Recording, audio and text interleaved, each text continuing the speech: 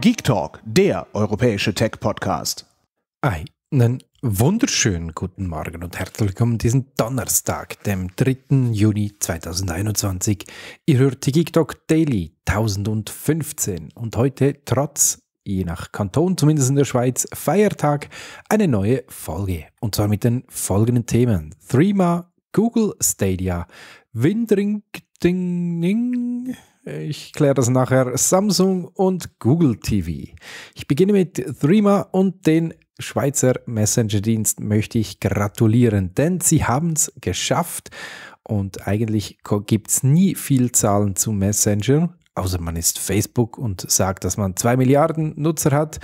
Ähm, ja, Threema hat die 10 Millionen User-Marke ge äh, geknackt. Wenn man so unbelegten Quellen ähm, Glauben schenken darf, ist das bei Signal 40 Millionen und das ist dann wiederum sehr, sehr eindrücklich, wenn man bedenkt, dass Signal kostenfrei ist und Threema kostenpflichtig.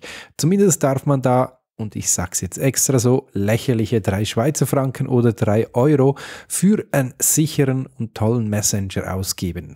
Das haben jetzt über 10 Millionen Nutzer gemacht und somit könnt ihr euch ein bisschen zusammenrechnen, was der Dienst schon verdient hat.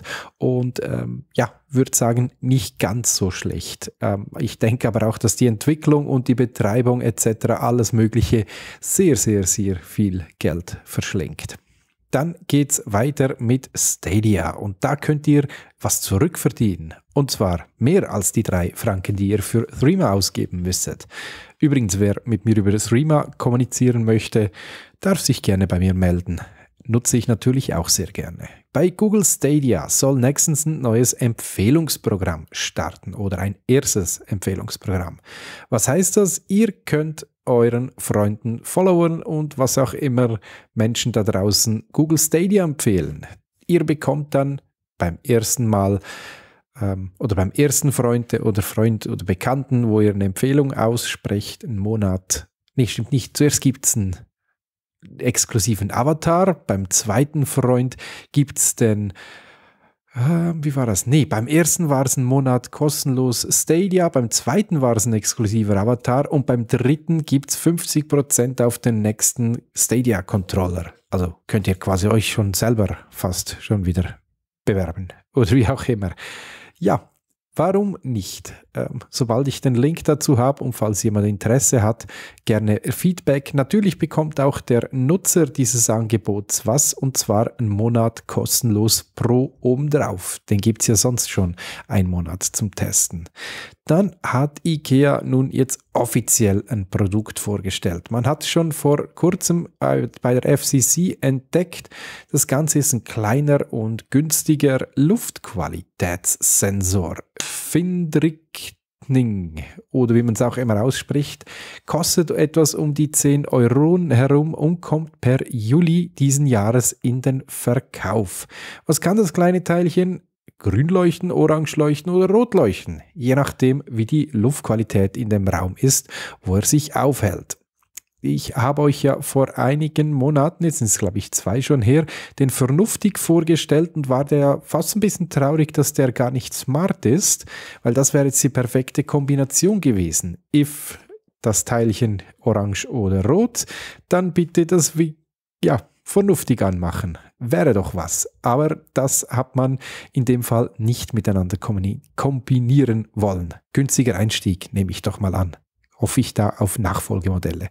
Dann hat Samsung sein smartes Monitorportfolio erweitert. Für all diejenigen, die es noch nicht mitbekommen haben, Anfangsjahr schon hat Samsung neue Monitore auf den Markt gebracht.